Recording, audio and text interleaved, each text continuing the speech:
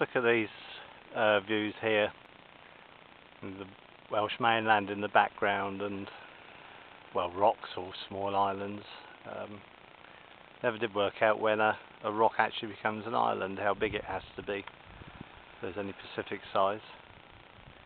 And then coming across the beach, there's the uh, the other lighthouse. A few more boats. I think they're the, they're the ones I took um, earlier, but around the other side of the bay there's even more.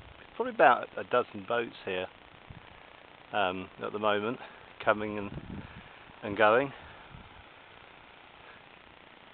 The shot of the. Uh, I'm sure it must have been a lighthouse, possibly a windmill, but I would have thought a lighthouse. And coming around the other side sort of virtually where I started from. You'll never be able to see this, I don't think, on camera. But uh, if it's possible to make out the beach in the distance there with the sand dunes, that's where I came across and I have to go back to. Uh, a couple more rocks islands, whatever you want to call them, over here. There's quite a few rabbits about as well.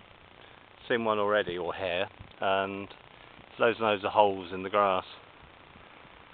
But uh, fantastic place. Very, very nice indeed. Okay, let's get across to that uh, that second lighthouse.